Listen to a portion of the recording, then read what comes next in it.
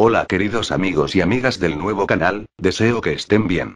A partir de lo ocurrido el día 3 de septiembre con el final de una de las series más representativas de la última década para Cartoon Network como lo fue Hora de Aventura, deseo realizar un análisis comparativo y centrarme en un aspecto que en parte me dio pena y que en cierto punto, se asemeja al final de Tokyo Ghoul Re, como sería el poco alentador y melancólico desenlace para personajes como son Simon Petrikov o el Rey Helado y Seido Takizawa o el Búho. Por lo tanto, veremos un paralelismo entre ambos personajes y cómo, ante todo, sus historias personales no son tan distintas entre sí.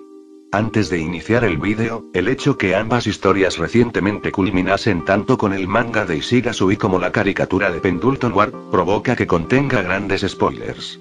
Por lo tanto, pido discreción. Comencemos. En primer lugar, deseo mostrar algunos antecedentes de ambos personajes previo a sus conversiones en sus alter egos.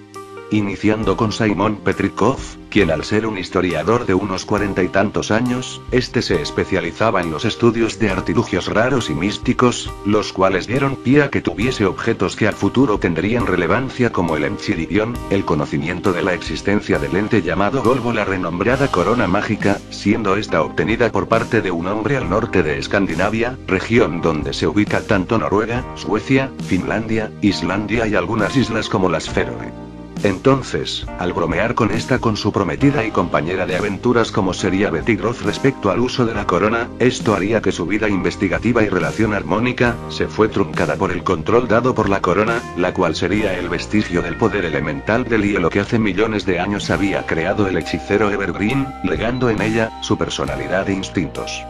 provocando que personajes como serían el primer ser con el nombre de Ganter, el propio Simon, Finn Martens de la realidad de Farmworld y finalmente, el segundo Ganter, los consumiría en la total locura y desesperanzas por sus más oscuros instintos. Por ello, su locura temporal y corrupción, haría que Betty comenzase a sentir pavor de él, pero que, con ironía, su llegada al futuro gracias al propio Simon que tuvo una lucidez temporal, permitió que fuese importante para el destino de la historia, pero que, para el Simon del presente, conllevó su eventual perdición y locura, en medio de la guerra nuclear que significó la gran guerra de los champiñones. A pesar que su lucidez y cierta empatía, hizo que lograse convertirse en la temporal figura paterna de la pequeña Marcelina Bader, contribuyó para que, en un futuro lejano, fuese ella junto a Finn y Jake, las piezas esenciales para lograr recuperar su cordura y abrir de los corazones de los habitantes de la tierra de Wu, respecto a quien fue el hombre que todos nombran como el rey helado. Pasando al pasado de Seido Takizawa, este al ser un niño normal y con una buena familia, el hecho que afrontase en su infancia el ataque de un Ghoul a su vecina de nombre Sato, la cual, en algunas teorías, sería la misma persona que fue vecina de la familia Kirishima y vendió de los niños, posterior a la captura de Arata a manos del CCG. Sería esta muerte y el impacto que tuvo su madre, la que daría pie a Takizawa a ingresar al instituto del CCG como parte de su deseo de ser investigador y proteger de quienes fuesen vulnerados por dichos seres. Por más que su deseo por lograr ser el mejor investigador de su generación, el hecho que tuviese a cuesta el tener de colega a no más que Akira Amado, hija de padres con gran reputación en la organización y prodigio entre sus pares, hizo que sus logros fuesen menospreciados en gran medida y desarrollase un sentimiento de amores y odios hacia su colega, la cual lograría graduarse como la mejor del instituto, siendo seguido el segundo en su curso. Con su ingreso al CCG, este al tener un gran sentido de respeto hacia sus superiores como vendría siendo Konamon Koutaro y Kosuke este vería de una realidad adversa hacia sus valores con la presencia de personajes como Suzuya Yuzo que, sin lograr deslumbrar la esencia de un investigador, eclipsaría con sus logros a muchos de sus colegas, incluyéndolo. De paso, la presencia de una Akira a quien lentamente vería perder afectivamente por su mayor cercanía hacia Amon, provocaría que Takizawa perdiese de una de las cosas que mayor importancia tendría para su vida.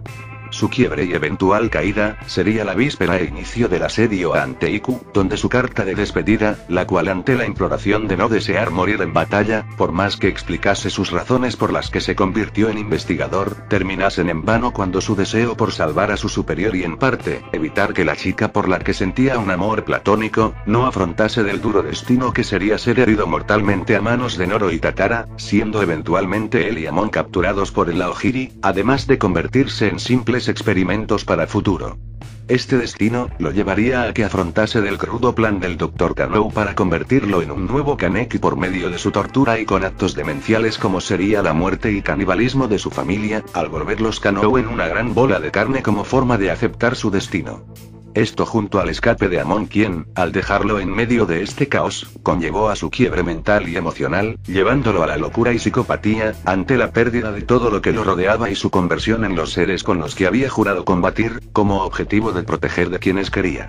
Ahora pasando a su presente y final, volvemos nuevamente con Simon, el cual durante cientos de años y hasta el momento de dar inicio a Hora de Aventura, se mantuvo con su locura intacta y teniendo el leve recuerdo de su princesa que era Betty, este comienza a secuestrar princesas para lograr este objetivo de tener a alguien que libere de su soledad y que al tener solo a Ganter el pingüino o extraterrestre, conlleva a que eventualmente su disputa con los héroes locales que son Finn y Jake, permita que conozcamos más de este, sus acciones y eventualmente su pasado. Es ahí, donde estos sucesos permitirán que vean como el odiado e irritante rey helado, solo es un cascarón del hombre que en su momento se llamaba Simon Petricot y quien al sucumbir por parte de la corona, base del elemento helado, conllevó a que su esencia se perdiera, pero que asimismo, contribuyó a que lo reuniese con otros personajes que tuvieron gran impacto durante su debacle como es Marceline con quien pudo lograr una nueva conexión luego de sin número de veces que éste la encontraba y debía abandonar su hogar, como pasó con el fuerte del árbol. Esto daría pie para que Simon en un momento de lucidez con la pérdida de poder de la corona, lograse crear junto a Marceline, Finn y Jade de un portal con el peluche Jambo que le había regalado en medio de la guerra, permitiendo recuperar a su gran amor como es Betty Groff. Sin embargo, el regreso de sus poderes y locuras, harán que Betty busque por todos los medios posibles de cambiar este destino, siendo en variedad de ocasiones, donde hechos como el uso de magia, rebobinar y alternar su corona mágica o finalmente, el uso de un ente primigenio como lo es Gold para lograr recuperar de su amor causa que llegue el caos y violencia de Uru, donde esta situación contribuirá a que Simon luego de más de mil años, se libere de la maldición que lo consumía, pero con la pérdida de su princesa, por más que los ánimos de Marceline para lograr remediar su sacrificio, en bien de salvarlos a todos. A pesar que el destino de Simon fuese un poco más amistoso, cuando vimos que mantuvo su amistad con el nuevo rey helado y su esposa, la princesa tortuga. No obstante, el legado de Simon de buscar alguna posibilidad de salvar a Betty o por lo menos, lograr remediar de su nuevo estado al estar fusionada con Gold, hará que repita en parte del destino del hombre mágico con su esposa, pero que con Simon, será ese destino de no como los roles se invierten entre ambos y con ello, será él quien busque hasta el fin de sus días la manera como salvar a su amada princesa. Pasando con Takizawa, ante su conversión en Ghoul híbrido y locura por las barbaries que el Aogiri cometió ante su persona, además del olvido que sus ex compañeros del CCG tuvieron hacia su parte al considerarlo muerto, haría que fuese una de las armas de triunfo de la organización Ghoul que al enfrentarlo contra su antítesis y bastión primigenio como lo es Haise Sasaki o mejor conocido como Ken Kaneki, conllevaría que demostrase su frustración, odio y desazón al ver cómo los roles de Ghoul e investigador se invertían, respecto a lo que apreciamos con el primer manga. No obstante, esa furia se reflejaría con la carnicería que cometería con otros investigadores que al recordar que lo humillaron o menospreciaron, haría que viésemos momentos crudos como el ver los fluidos cerebrales como jalea o las cabezas como piñas, como mecanismos para dilucidar de una realidad con tintes demenciales.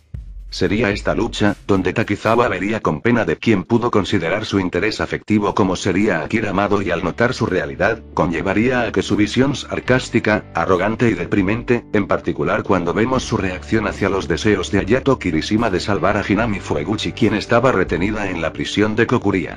Esta actitud que más que mostrar un sentido misantrópico, es un signo de rechazo y frustración de cómo no pudo lograr obtener su felicidad a costa de su actual estado y en especial, cuando sabía del interés de su viejo superior y ella. Ya sería en sagas como la de la isla Rue, donde veríamos esa relación con algunos viejos colegas, donde sin piedad mataría de investigadores con los cuales tuvo respetos como Hachikawa y Hoyi a quien, con rabia en su ser, termina matando a la persona que tanto apreciaba y que, al ver su conversión, decidió morir como pago ante el costo vivido por su pupilo. No obstante, esta experiencia que dio pie a luchar y volver a reencontrarse con Akira y Amon, permitirá que Takizawa reflexione de su vida, la cual se vería con el ataque de una Mutsuki quien, sea de paso, sucumbiría ante sus odios y manías, permitiendo que tanto sus dos compañeros diesen su vida para protegerlo, logrando con ello, una reflexión de que no todo debía ser un sinfín de locura y rabia, sino que ante el apoyo de quienes le querían, lograría salvar de su humanidad. Es ahí, donde su apoyo a Cabras junto a una compañera de destino como sería Kurona Yasuhisa y el rey de un ojo Kaneki, causará que veamos como su conversión a un antihéroe, permitirá que remedie de sus actos al salvar a un Amon en pleno estado berserk y sea de paso, saldar cuentas con un Kaneki a quien casi mata por su frustración y odio, todo en pro de dar pie a la recuperación de una Akira que se encontraba en estado de coma. Aparte de esto, sería su amistad con Yumitsu Tomoe quien es mejor conocida como Hakatori, vería más del mundo dual que ya era parte y como su destino, era más que solo ser un ente asesino sin existencia y futuro. Gracias a esto, sería como su rol de apoyo y de voz de razón hacia un Amon quien luchaba contra sus propios demonios a manos de su ex tutor y padre adoptivo como lo fue Donato Porpora contribuyendo de paso, a saldar cuentas pendientes con su viejo ex amigo y rival, permitiendo ya como punto definitivo dejar que tanto él y Akira tuviesen su vida juntos, manteniendo su legado como híbrido, pero ahora, aceptando de su destino. Finalmente, sería esta decisión, lo que haría que Takizawa ya sin el amor de su vida, su mejor amigo y superior y de la Ghoul que lo acompañó en sus tiempos finales, donde lo llevaría a alejarse de Tokio y volverse en un renegado que para mantener la paz lograda entre Ghouls y humanos, simplemente viviría exterminando de Ghouls rebeldes a esta nueva realidad, como muestra de su deseo de mantener su condición como investigador de antaño, pero asimismo, la de ser un Ghoul en un mundo que cierto punto, no tiene nada para él ahora. En conclusión, por más que ambos personajes en sí, no tienen relación alguna y algunos de los contextos que tuvieron no se podrían asemejar, siento que su destino como personas normales en un mundo sobrenatural, su inesperada conversión en seres alineados a los patrones ocultos de ambas realidades como seres mágicos y ghouls, además de sucumbir hacia la total locura, caos y deseo de recuperar de sin éxito de dicho pasado, hará que ciertos personajes que impactaron de ellos, sean las claves para recuperar su razón pero con el sacrificio final de mantenerse en la total soledad íntima, pero lograr en cierto punto recuperar de sus viejas mentalidades, primando con ello, llenar del vacío que supuso la pérdida de quienes importasen tanto para sus existencias, como serían sus intereses amorosos como base primaria. Aquí terminamos de este vídeo y espero que lo hayan disfrutado. Deseo que aprecien del variado contenido que está ahora en el canal y de los que vendrán a futuro, con su suscripción, clic en la campana y un gran me gusta al vídeo. A su vez, espero que sigan la página en Facebook para debatir sobre estos vídeos, estando el link en la descripción. Muchas gracias por su atención. Hasta pronto.